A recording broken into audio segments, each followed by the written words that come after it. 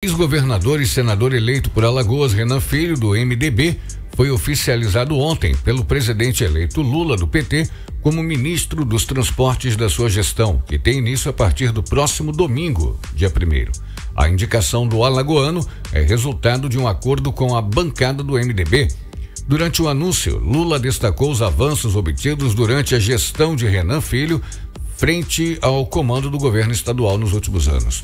Logo após ser confirmado por Lula, Renan Filho conversou com a imprensa e adiantou que o ministério vai trabalhar com uma agenda que amplia a presença do governo federal em todo o país, gerando emprego e renda.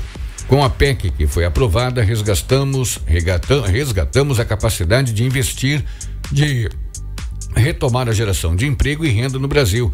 Precisamos fazer que o governo do presidente Lula esteja presente em todo o país. Temos um diagnóstico em mãos e o cenário é de muita dificuldade, expôs Renan.